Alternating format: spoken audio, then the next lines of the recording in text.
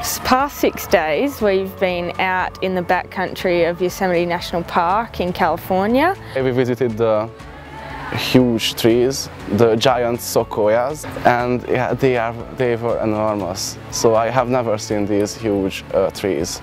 And so we got to um, follow Yosemite Creek for quite a while and then we saw the top of Yosemite Falls and then we went to, and we stayed our last two nights at Half Dome, which was amazing. There was a, a moment when I had chills uh, all the way down and I was really like, I was so breathless. Yeah, I found it amazing, you know.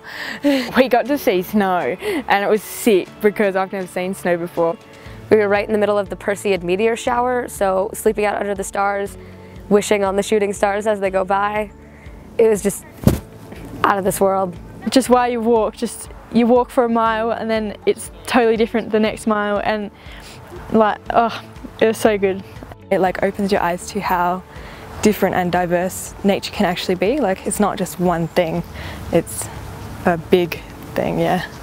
I never really thought about when I applied for this trip the different cultures that I'd get to experience, but that was definitely the highlight for me. Being able to see the different people from different parts of the world and how their culture is different from mine. I really got to experience them on a personal level. I had a view how I imagine their country and, and when I met them and told them it's completely different and I, I love it.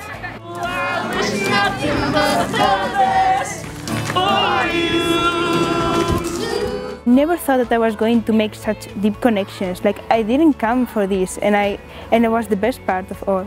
I've always like loved nature, and it makes me feel like there's so much more to the world than just myself, and that it's all the only thing we all have in common is nature.